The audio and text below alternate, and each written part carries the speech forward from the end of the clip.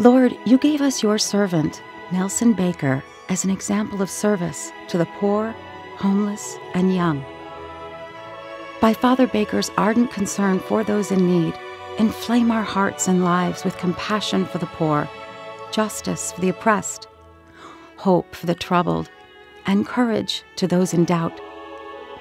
We pray through the intercession of Our Lady of Victory, if it be your will, that your servant, Nelson Baker, may one day be canonized.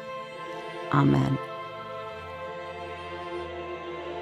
Glory be to the Father, and to the Son, and to the Holy Spirit, as it was in the beginning, is now, and ever shall be, world without end. Amen.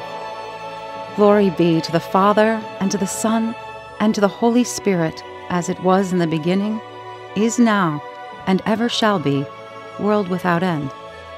Amen.